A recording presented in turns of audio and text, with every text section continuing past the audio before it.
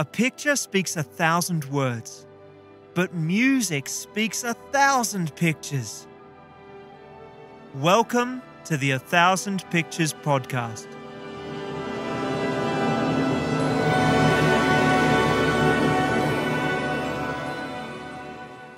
Hi, my name's Scott Wilson. I'm a conductor and I'm passionate about classical music. In this podcast, we discover the music of one of our greatest art forms. We listen to a new piece in each episode, I share insights into the music, and over time, I'll take you on a journey through classical music's composers, musicians, and history. Everything's discussed in an easily digestible way, and no prior knowledge is needed. This podcast is for you. Today we're listening to La Mer by the composer Claude Debussy. The title of the piece translates in English to The Sea. It's one of the most evocative pieces ever composed, and it's an absolute favourite of mine. As well as conveying the images and sensations of the sea, you'll hear some of the most beautiful sounds that an orchestra can produce. So here we go. Immerse yourself in the glorious sound of Debussy's orchestra.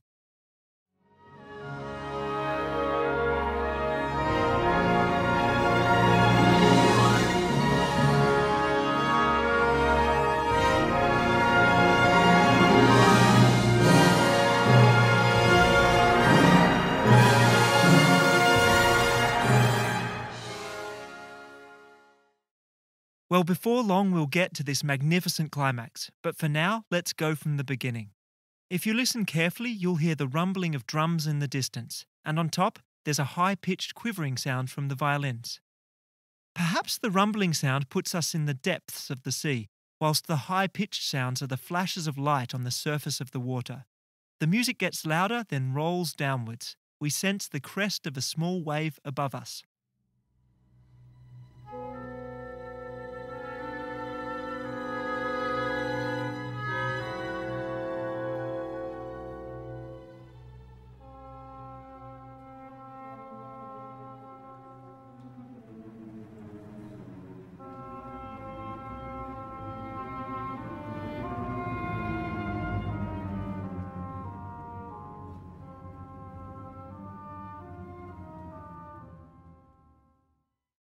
It's mysterious. Did you hear the rumblings? Though they were originally in the timpani, they've now transferred to the violins, violas, cellos, and double basses. The musicians are rapidly pushing and pulling their bows back and forth across the strings of the instruments. Their bubbling energy creates a sense of anticipation. Let's listen to part of that excerpt again. You'll hear the lower strings get louder, then quieter. This is the undulations of the deep sea. On top of this, there's an eerie melody also mimicking the ebb and flow of the water.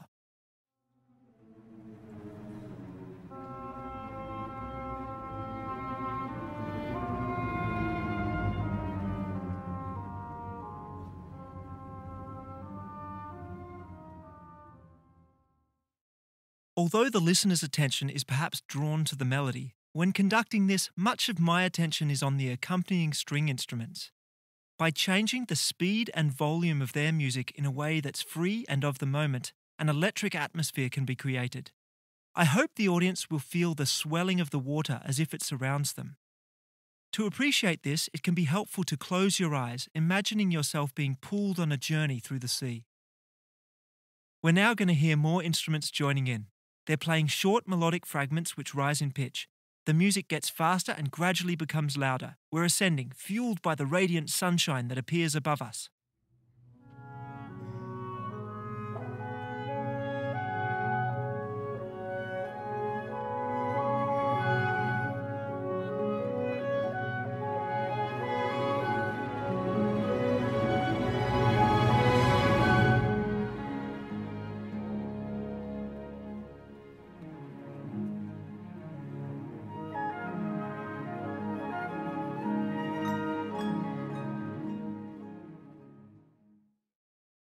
I love the moment immediately following that small climax. We've arrived in the glorious warmth of the morning sun.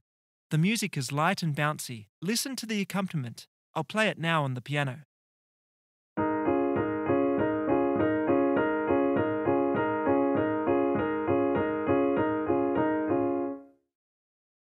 For me, this is the breeze dancing across the ripples of the water. On top of this, the cellos play a graceful tune, and this is answered by another tune in the woodwind. The easy-going, joyful music is surely that of a calm sea on a perfect day. Let's hear this again now.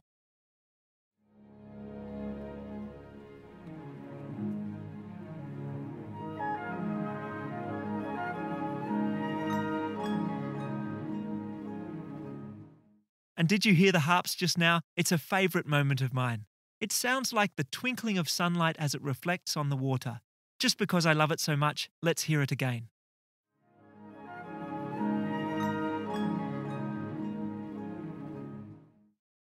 This is why I can't get enough of this piece. It's a vehicle for hearing the range of thrillingly beautiful sounds that an orchestra can produce.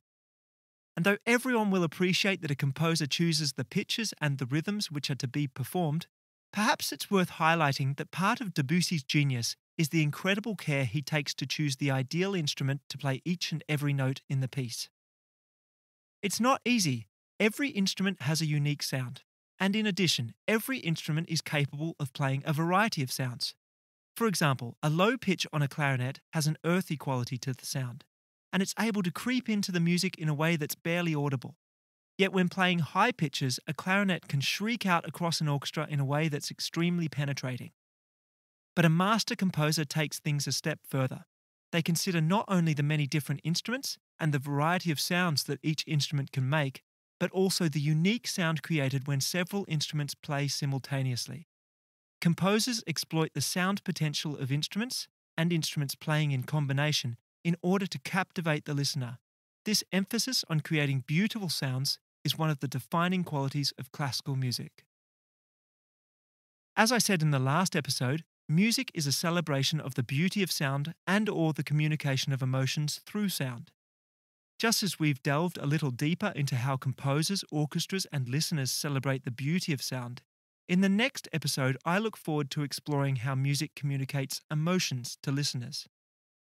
But now let's continue on. You'll hear the music rushing towards a goal, then leaping upwards and downwards, and then the energy ebbs away and the music becomes more drowsy.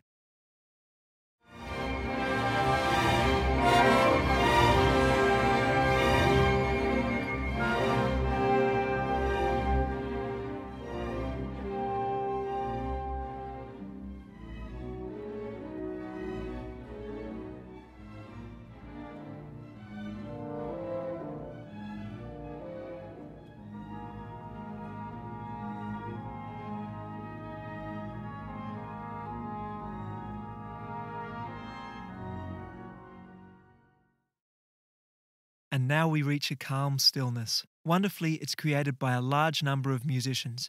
All 60 string players, the musicians of the two violin sections and the viola, cello, and double bass sections, are playing long, quiet notes. These notes are spread in a spacious way from a very low pitch to a very high pitch. On a piano, these pitches sound like this.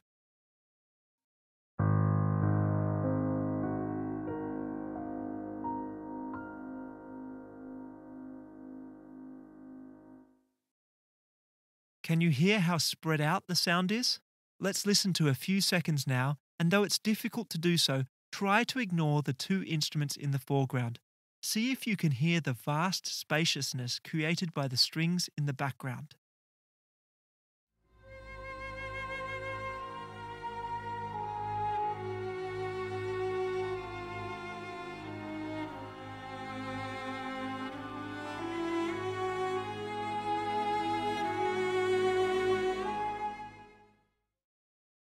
Let's listen again, but now also following the melody. It's played by a lone cello combined with an English horn, which is the big oboe instrument we heard in the previous episode. These instruments are playing exactly the same tune. Debussy could have composed for only one of the instruments, and in many ways this would sound very similar. However, Debussy has carefully considered exactly how he'll create the perfect sound for this moment. The sound is interesting because he's combined two instruments but it's made more special because both instruments are playing pitches that are at the high end of their range. This creates a physical challenge for both players, which is compounded by the fact that they're trying to maintain a balance of volume and exact rhythmic precision with each other.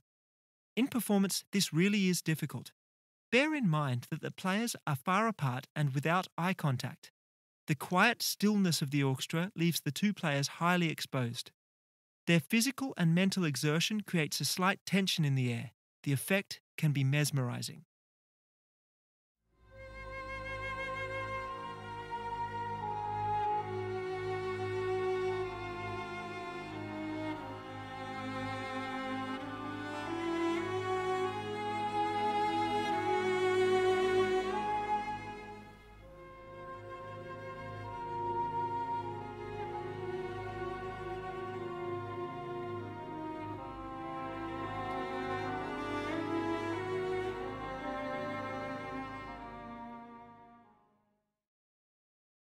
I hope you're full of anticipation for what happens next. Well, a wonderful climax is coming, and adding sparkle on top of the orchestra's sound at this moment will be the instruments of the percussion section. Percussion instruments create their sound when struck by the player's hand or with a mallet, or by activating something within the instrument by shaking it. Unpitched instruments like snare drums, bass drums, cymbals, tambourines, triangles, and gongs, and pitched instruments like timpani, xylophones, and glockenspiels are found in the percussion section of an orchestra. In addition, any rare instrument, or indeed non instruments that have been repurposed for use in music, like whistles, sirens, or bells, are played by percussionists. As such, a percussionist is a multi skilled instrumentalist. Though they're required to be a master performer on each of the usual percussion instruments, they can be called upon by a composer to create interesting sounds from any number of instruments and occasionally from a completely new instrument. Timpani, otherwise known as kettle drums, have been a member of the orchestra since its formation in the mid 18th century. Their fundamental responsibility is to underpin the two or three most important pitches within a piece in order to give the music a sense of stability. This quality sets the timpani apart from other percussion instruments, which were usually called upon only to add emphasis or to add a cultural reference within the music. For example, given their powerful sound, cymbals and bass drum frequently play a loud clash at the climax of a piece. Instruments like tambourines and castanets have sometimes been used to represent Southern European cultures, and gongs and wooden temple blocks to represent East Asian cultures. But from the late 19th century, the role of the percussion section in orchestras expanded and became more refined. Composers began using percussion instruments not only for their climactic and cultural reference capacities, but to enhance the range of unique sounds available within an orchestra. Instead of a timpanist and only one or two percussionists, modern orchestras have grown to accommodate any number of percussionists playing a vast array of instruments spread out across the entire back of the stage. Over the coming episodes, we'll discover the unique qualities of the brass, woodwind, and string sections of the orchestra. And though Debussy writes wonderfully for each of these, as we listen to the final moments of Mer, you'll hear the percussion instruments adding brilliance to the orchestra's sound. Initially, we'll hear the ocean floor begin to stir, whilst in the background the cymbals add a glassy, transparent hue.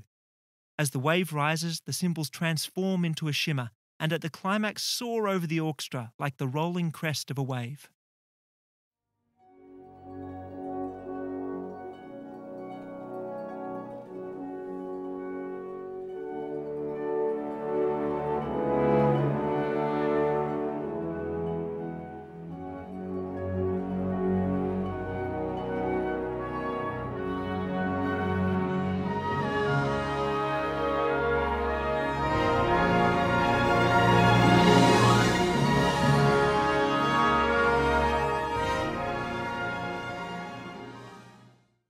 Isn't the sound of the orchestra just gorgeous? I love the way the music surges and recedes. It's a spectacular wave of orchestral sound. Let's listen again. You'll hear the rushing of the strings as they hurtle upwards towards the summit. And then we arrive gracefully. It's as if you're looking out across the water to the horizon.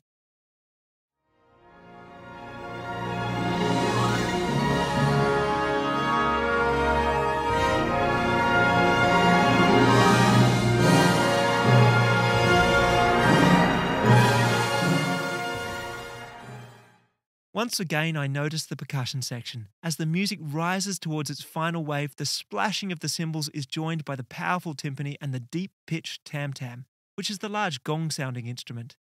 They throw colours of sound out across the orchestra. The waves are majestically crashing into each other. On top, the horns and trumpets glide over the orchestra, bringing boundless excitement to the music. And then, following three powerful chords, the orchestra surges and recedes a final time, saturating the listener in beautiful sound.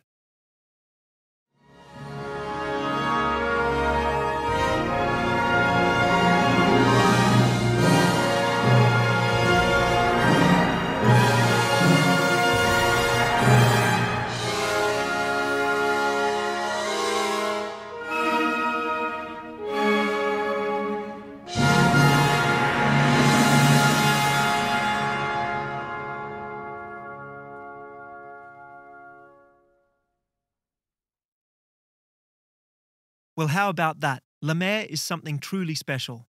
Though I admire Debussy's restraint, sometimes I just wish that music from the final few moments would continue on for much longer. But I guess that's the magic. The music has disappeared before you've had a chance to grasp it.